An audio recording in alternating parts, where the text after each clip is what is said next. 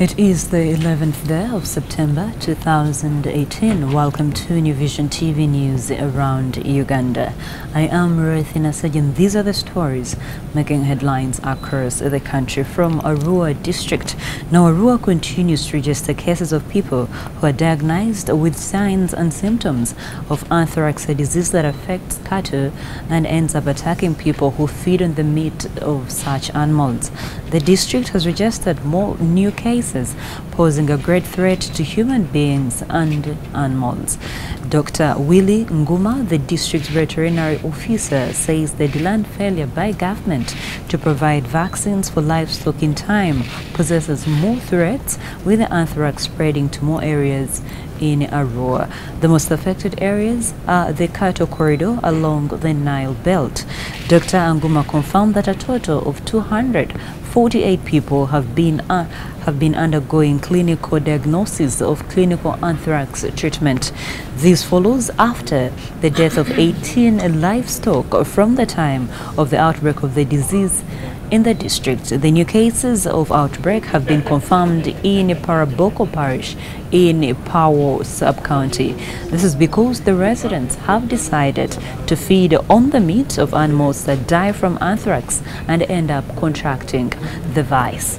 Now news from Mukono district. Mukono district has started a campaign to address the rampant cases of animal theft which according to the designs includes the Presidential Poverty Reduction Program, Operation Wealth Creation items.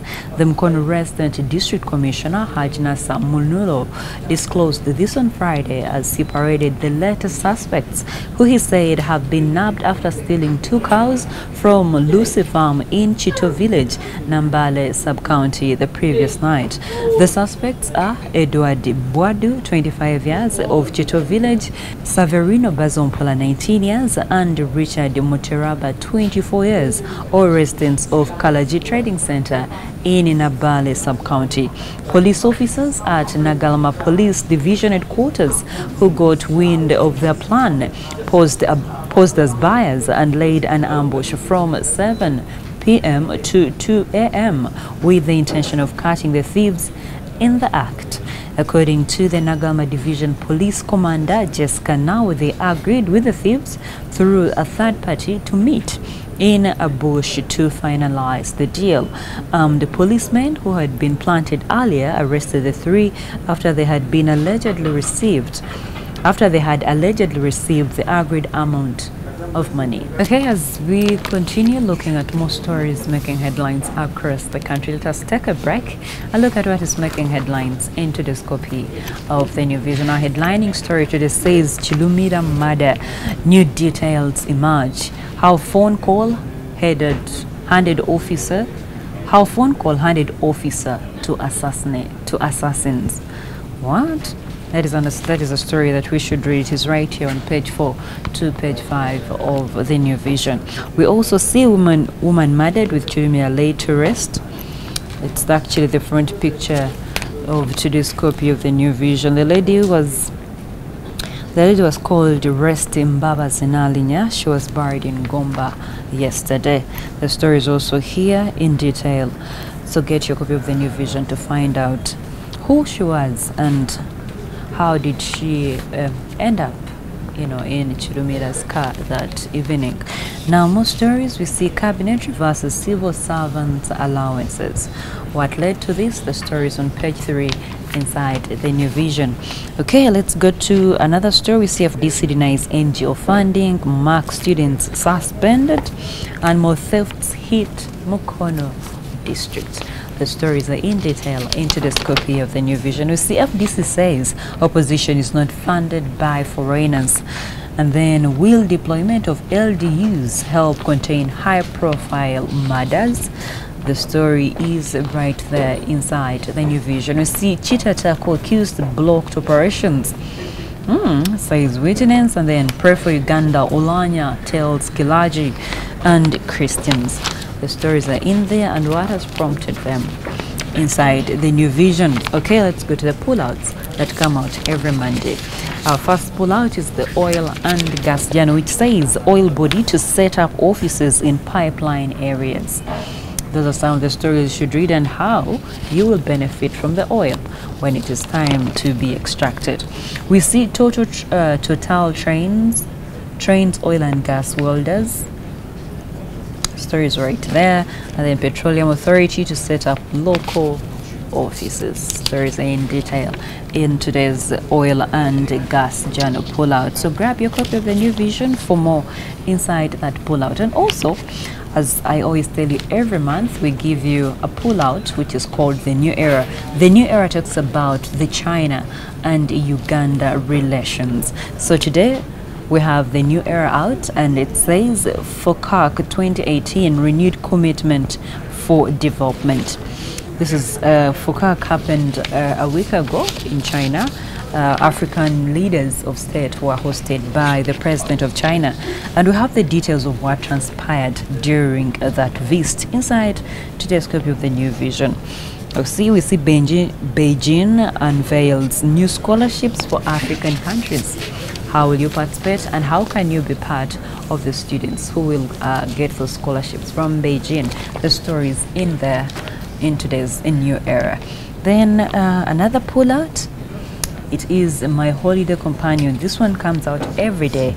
It's it actually targets pupils, those ones who are in all holidays.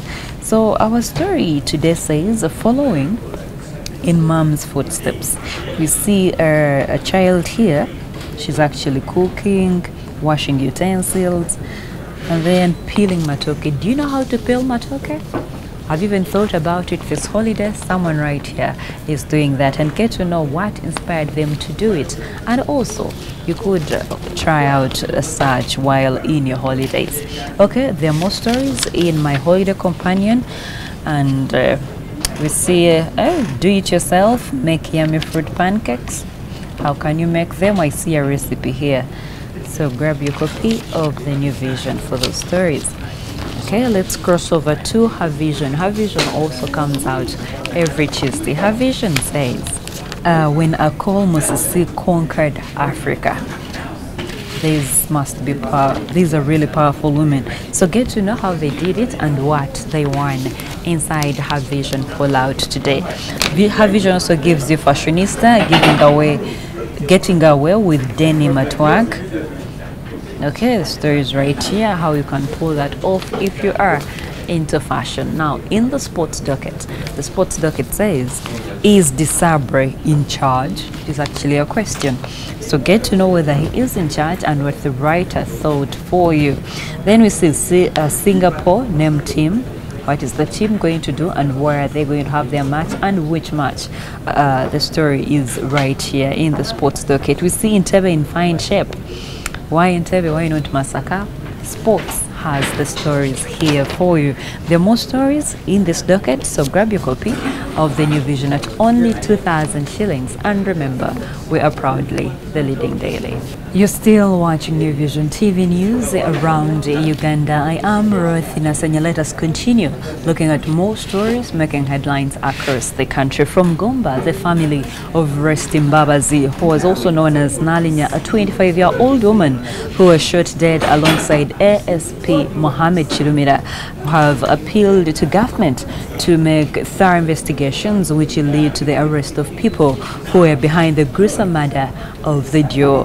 Mbabazi was buried this uh, yesterday afternoon at Impanga village in Penja sub-county, Gomba district at her father's home, Alosia Skaitari. Sania Mukasa, the bereaved sister, said Mbabazi was the only breadwinner at home and her death was a big, uh, a very big blow to the family because she was supporting their parents financially.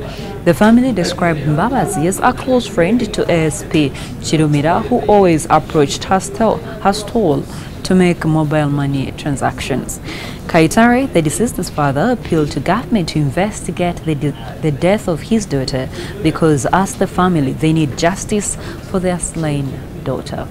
Let's close the bulletin from Iganga district where police have recovered an AK-47 rifle loaded with 11 rounds of ammunition from a sugarcane plantation in Kasolo village, Bulamagi sub-county in Iganga district. Police say the AK-47 rifle is one that was used by armed thugs who robbed, who robbed a beer depot uh, owned by an Indian businessman along Kalibo Road in Iganga municipality recently of over 90 million shillings.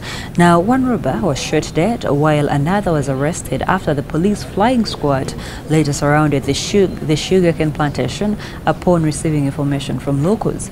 The suspect robber later hanged himself while on detention in Iganga Central Police Station by using his own shirt.